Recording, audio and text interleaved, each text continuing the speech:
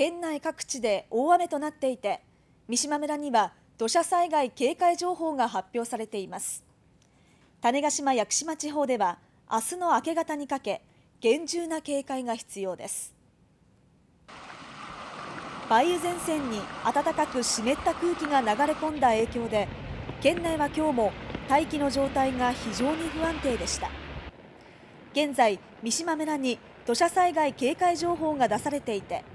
指宿市、錦江町、南大隅町などにも大雨警報が発表されています。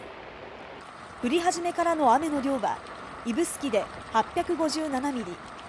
錦江町田代で854.5ミリなど800ミリを超えているところもあります。種子島・屋久島地方では明日の明け方にかけ土砂災害に厳重な警戒が必要です。姶良市梶木町小山田の県道55号では道路脇の斜面が崩れ今日午前1時から片側通行となっています。大雨の影響で JR の一部の在来線で始発から運休や遅れが発生しました。指宿枕崎線の喜入と枕崎の間が明日は始発から終日運転を見合わせるということです。